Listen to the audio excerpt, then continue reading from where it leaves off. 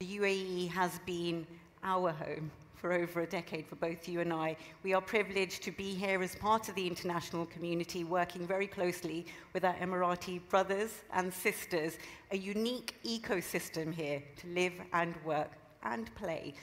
In terms of the UAE's responsibility, G42's responsibility at the heart of your mission to ensure there isn't, as we know, a digital divide followed by an AI divide. I think that universal um, super highway of super utility distributing intelligence everywhere through large scale uh, data centers to bring trillions of tokens to the hands of everyone in the world.